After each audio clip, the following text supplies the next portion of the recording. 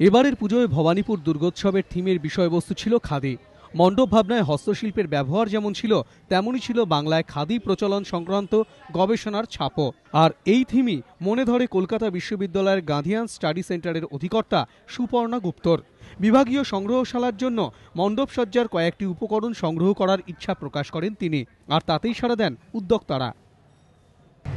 আমাদের কাছে কলকাতা ইউনিভার্সিটির পক্ষ থেকে একটি প্রপোজাল এলো যে যদি আপনারা চান, আপনারা আমাদের এই এই জিনিসগুলো, আপনাদের প্যান্ডেলে যেগুলো ডিসপ্লে করা আছে, খাদির জিনিসগুলো, সেগুলো আমরা কলকাতা ইউনিভার্সিটিতে প্রদর্শিত করার জন্য রাখতে পারি।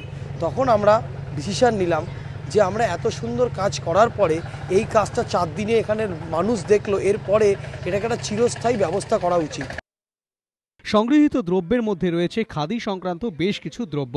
এমনকি বাংলায় খাদি প্রচলনে ঠাকুরবাড়ি ও সরলা দেবীর ভূমিকা সংক্রান্ত যেসব তথ্য ও ফটোগ্রাফ জোগাড় করেছিলেন পুজো উদ্যোক্তারা, তাও তুলে দেওয়া হয়েছে গাঁধিয়ান স্টাডি সেন্টারের হাতে। বিভাগীয় অধিকর্তা সুপর্ণা গুপ্ত জানিয়েছেন, গবেষণা ও প্রদর্শনী উভয় কাজেই ব্যবহৃত হবে জিনিসগুলি।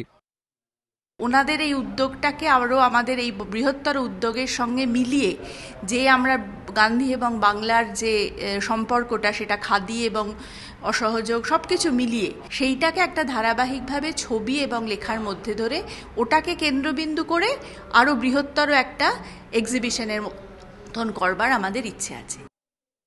কলকাতার পুজো বরাবর ভৌগোলিক গণ্ডি পেরিয়েছে, আর এবার নান্দনিকতা অথবা বিনোদন ছাপিয়ে পুজোর থিমই ঢুকে পড়ল গবেষণার কাজে।